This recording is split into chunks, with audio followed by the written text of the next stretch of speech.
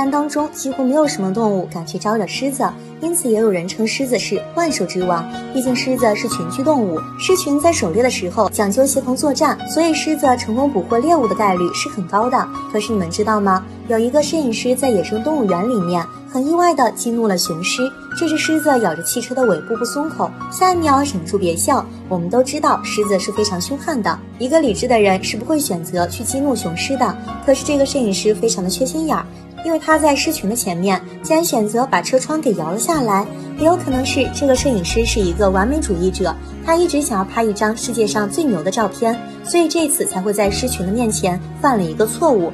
他在狮群的面前把车窗给摇了下来，而且还用摄像机对着狮子的面部疯狂的按快门。其实这辆汽车已经进入了狮子的领地。